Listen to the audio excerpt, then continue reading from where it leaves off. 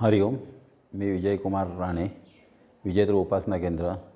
सद्गुरू बापूंकडे मी दोन हजारपासून येत आहे.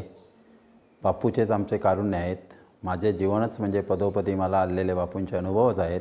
त्यात करून मी तुम्हाला एक आमचा छोटासा अनुभव तुम्हाला सादर करत आहे की त्याच्यात बापूचं अकारुण्य आपल्याला दिसून येईल आणि त्याचबरोबर संकटावर बापू कसे धावून येता येईल हे मी तुमच्यासमोर सादर करत आहे. उन भर उन्हाळ्याचे दिवस होते. वे गर गरमीने व्याकुळता वाढतही होती. आम्ही रात्रीचं जेवण करून बापूंचं नामस्म नित्य नामस्मरण करून झोपी गेलो. मध्यरात्री अचानक कसला तरी आवाज आला. आमचे जुन्या पद्धतीचे घर असल्यामुळे बाजूला मिसेस झोपलेली होती. ती म्हणाली बहुतेक मांजराने आपल्या अंगावर उडी मारलेली आहे. आणि असं म्हणून ती लगेच झोपे गेली. बाजूला काय घडले आहे हे मलाही कळत नाही पण काय कळ पडले आहे बघण्यासाठी मी टॉर्चला हात घातला.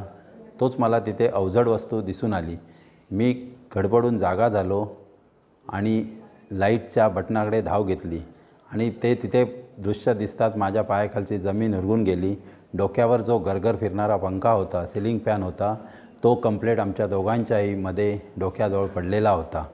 हे बघून माझ्या पायाखालची जमीनच सरकली. मी मिसेसला उ उठवलं अगं आपल्याला मांजूर पडलेलं नाही आहे बघ आपल्या डोक्यावर काय कळलेलं आहे. एवढा सहा ते सात फुटावरून सिलिंग फॅन करून आमच्या दोघांच्याही मध्ये येऊन आमच्या डोक्याजवळ तो स्थिरावतो पण आम्हाला कुठचंही काही न करता तो बाजूला येऊन पडून जातोच हे बापूंचं अकारुण्य अकारण कारुण्य आहे. म्हणून असेच बापू आम्हाला सतत साथ देतात. बापूंवर सतत संकटाच्या अगोदर बापू धावून येतात अशी आम्हाला खात्री आहे. आणि माझं जीवन सर्वस्व आम्ही बापूंना अर्पण केलेलं आहे. हरिओम श्रीमान अंबद्य